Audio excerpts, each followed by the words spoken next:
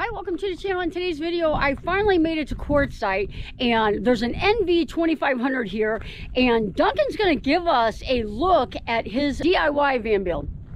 Come on in and take a look at my Nissan NV. So this is my 2018 NV 2500. I bought it last year and uh, built it out. It took me about four months to do the first build and uh, made many mistakes along the way. The second build I did uh, this year and uh, pretty much turned everything around uh, and made it a little bit better. And what I've got over here is a sink and uh, a water pump. So I've got about 12 gallons of water in here, a little bit of gray water. Um, a lot of storage back here and a bed that turns out to be about uh, full size. Uh, this is not a television, it's actually a, a, computer screen so that I can uh, do some work on here if I so choose. But it seems like every time I get out to the desert, I just lose the impetus to work. So, um, got my guitar up here set up in a way that, you know, a guitar that is, uh, I've found that isn't out, doesn't get played. So it's set up in a way that I can just pull it down, put it back up. Uh, a lot of storage down here with drawers and um, know, lots and lots of drawers and, and stuff like that. It's also designed to be able to sit inside the van and, uh, you know, both face inside or if I want to just sit here and play my guitar and enjoy the scenery other than the trash bag right here, then I can do that. Down here, I've got my heater, which I just installed. It's a Wave 3 and it just opens up to a small five gallon propane tank.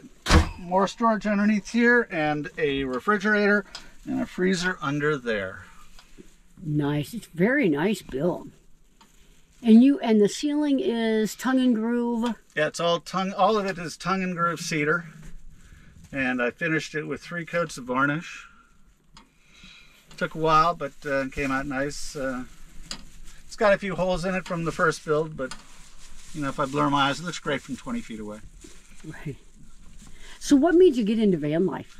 Um, COVID came along and it was time for me to get out and, and, and get going. So I started watching a bunch of, of videos. Uh, I don't think your channel was out quite uh, quite then, but uh, if it had been, I would have watched it. So, um, so I started. Uh, I, I had never been a camper before. I had been to all seven continents, and I always believed that, um, but I had never camped you know, I had always believed that camping is great mm-hmm. if one, the destination you're going to is really worth seeing, mm-hmm. and two, the only way to see it is by camping. And that literally was the definition of COVID. Right. So, uh, so I started watching some videos and, and uh, learning how to tent camp. And, uh, you know, then I, uh, after a couple of months, I, I hit the road and I thought I was absolutely nuts.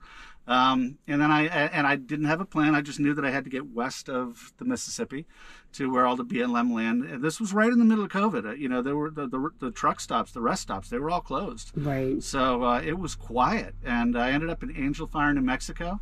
It was absolutely freezing. It was probably about 22 degrees, and uh, that was the first time that I ever uh, uh, you know, slept 30 feet from bear scat and uh, oh. you know it was it was an exciting it was an exciting couple of days and so i ended up spending the entire year uh, on the road um, most you know about half and half between the the uh, the suv and um, and uh, hotels once they once they cleared those being okay you know be, for being safe uh, then I came back to DC and uh, thought about it some more and, and uh, worked a little bit and then something happened with work that forced me to stick around for a while and, and the car was the SUV was dying and so I decided to buy the van and, and uh, started building it out and, and uh, you know made a lot of mistakes along the way. Again, if I had had your video channel, then I probably would have made a few more a few less mistakes. Um, and so I went out on the first first trip. Uh, it was about six months, 180 days out, 179 in the van, and I absolutely loved it. I slept better in the van than I slept in a, in sticks and bricks. And, nice. Uh, so I rebuilt it this summer and uh, came out again, and, and here I am. What do you think the hardest thing about van life is? That's a good question. I think it's different for everybody. There are other people who are um, looking for something. You know, there are other people who are seeking adventure. There are people who are, you know, running from something, and and uh, there, are other people who just want peace and don't want to be bothered. So I think all of us probably carry a little bit of that with us when we when we come out. Um, and I think that's why this community tends to come together because mm-hmm. you know we all have so much that we share with each other. But for me, I think you know I wanted to I wanted to get back out into the world and uh, you know start being vocal again. Um, it, when I first started out, I wasn't very sociable. You know, I wasn't antisocial, but I wasn't seeking people. I tended to stick to myself, and now I'm, you know, uh, a lot of parts of me have kind of fixed themselves, and, that, and that's that's great. Yeah. yeah. All right, so tell me, it's a miracle. It's it's one of our bucket list items to go to all seven continents.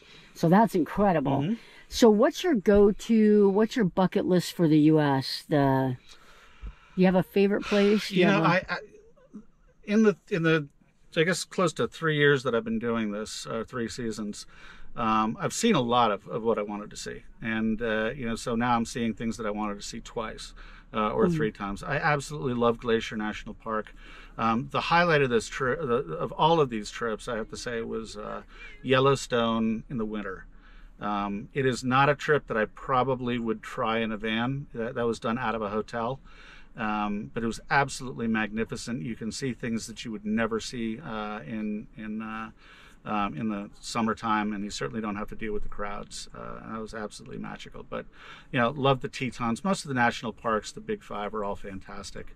Big Bend was a real sleeper, um, and uh, you know, and I and I have to say, just be some of the some of the best times that I've had are also in just flat deserts. Um, you know, that uh, where a group of like-minded people come together and sit around a campfire and have a great time, and you know, people coming from all walks of life, and you just sit around and have a nice time for a week or two. Nice. Well, it was a pleasure, pleasure meeting you this week. It's just incredible. I think it's incredible the people that you meet on the road. And so good luck on your travels. Thanks for showing us your Sure van. And yeah, just keep moving forward. All right, It's a nice build. thanks.